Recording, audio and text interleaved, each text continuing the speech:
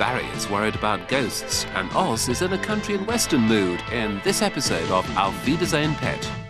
This is Central.